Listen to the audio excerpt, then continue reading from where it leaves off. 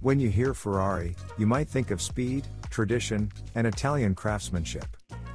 But now, they're taking a bold leap with their first ever SUV, the Purosangue. Let's explore how this ambitious venture retains Ferrari's distinctive DNA.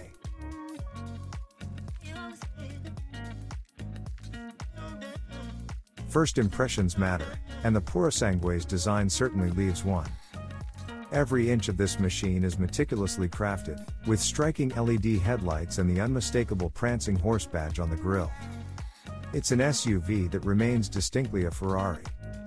Its sleek lines, flared fenders, and aggressive front grille scream Ferrari, while functional elements like the air intakes and rear diffuser reflect its performance pedigree.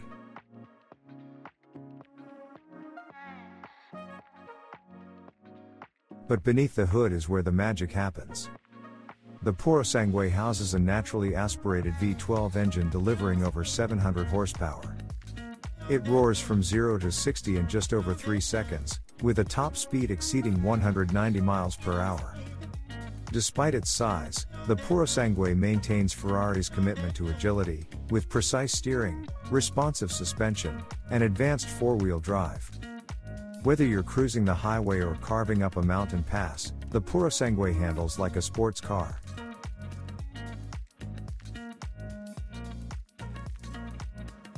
Inside, the Purosangue provides unparalleled luxury. The plush leather seats, polished carbon fiber, and dual screen digital cockpit immerse you in Ferrari's racing heritage while keeping it family friendly.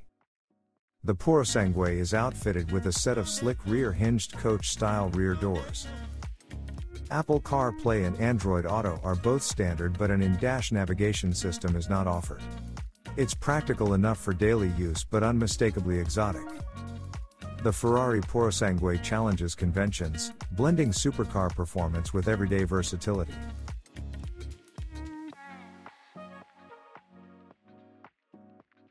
While purists may raise an eyebrow, there's no denying that it's a Ferrari through and through.